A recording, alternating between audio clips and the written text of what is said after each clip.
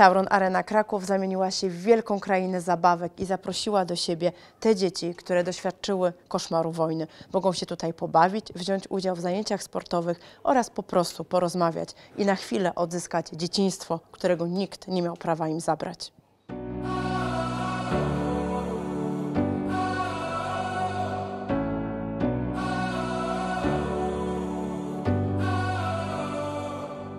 Ми знаходимо допомогу, підтримку один одною з мамою, коли е, спілкуємося. Ми можемо якось, коли ми разом, нам набагато простіше пережити все, що в нас відбувається, і дітям. Діти навіть забувають. Ми живемо повноцінним життям, так як жили.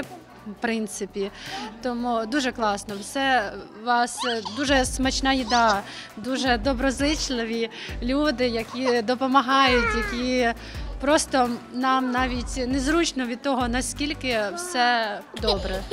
Дуже класно у вас. тому що дійсно в Україні зараз надзвичайно важкі часи, на- надзвичайно важко, особливо дітям, напевне, тому що діти це сприймають по-особливому.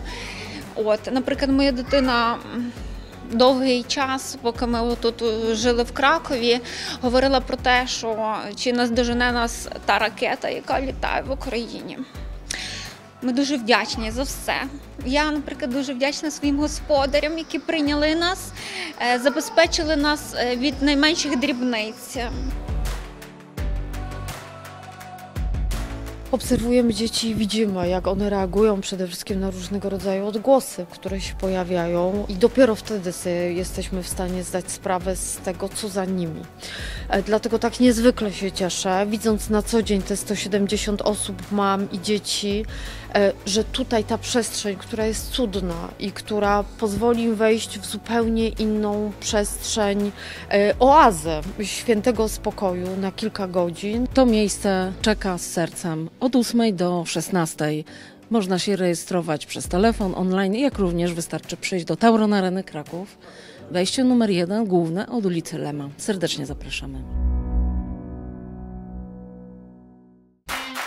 Kraków od prawie dwóch tygodni pomaga. Pomagamy jak możemy, nie tylko indywidualnie, ale również instytucje, takie jak ta za mną, czyli Centrum Wielokulturowości w Krakowie, która służy radom, pomocą oraz przede wszystkim dobrym słowem, ponieważ to jest najbardziej potrzebne naszym nowym mieszkańcom.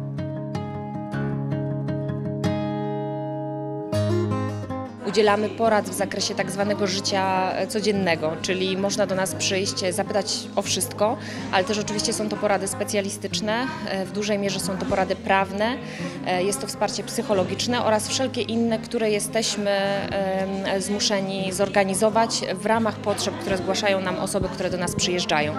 E, I to wszystko odbywa się na e, Alei Daszyńskiego 22 w siedzibie centrum, natomiast na Alei Daszyńskiego 16 prowadzimy wydawanie darów, zarówno dla osób potrzebujących, jak i dla osób, które zdecydowały się przyjąć pod swój dach e, osoby przyjeżdżające e, z Ukrainy, ponieważ wiemy, że ten czas e, naszej gościny będzie znacząco dłuższy i też te osoby musimy wesprzeć. Wciąż, jakkolwiek to nie brzmi, pamiętajmy, że my jesteśmy dopiero na początku pomagania, tak?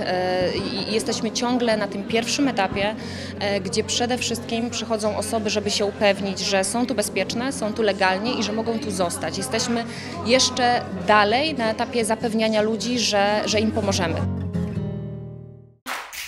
KBF, operator programu Kraków, Miasto Literatury UNESCO i współgospodarz Pałacu Potockich zaprasza na nowy cykl literackich chwil. Wydarzenie to skierowane będzie do ukraińskojęzycznych rodzin w Krakowie, ponieważ będzie tłumaczone na ich język ojczysty. Na najbliższym spotkaniu poznamy książkę pod tytułem Rękawiczka. Jest to ukraińska bajka ludowa. Zapisy dostępne będą już dziś na stronie Pałacu Potockich.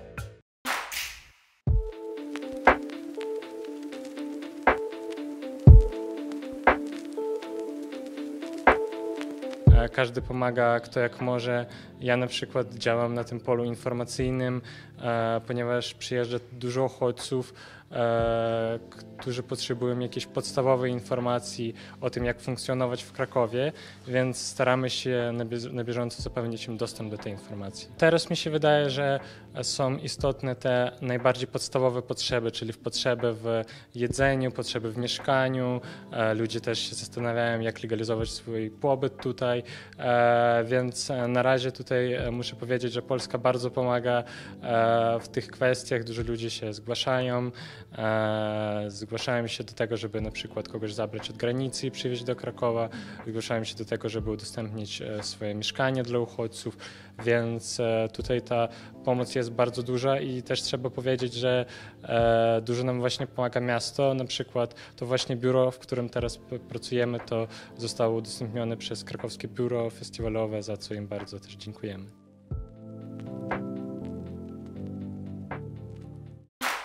Krakowskie instytucje kultury włączyły się w różne akcje pomocy organizowanej dla objętej wojną Ukrainy i ukraińskich uchodźców. Specjalną ofertę przygotowały Centrum Kultury oraz prawie wszystkie muzea w naszym mieście. Szczegółowe, aktualizowane na bieżąco informacje można znaleźć na profilach poszczególnych instytucji w mediach społecznościowych. Oprócz tego instytucje kultury i placówki edukacyjne m.in. organizują opiekę nad dziećmi, lekcje języka polskiego czy oferują pracę.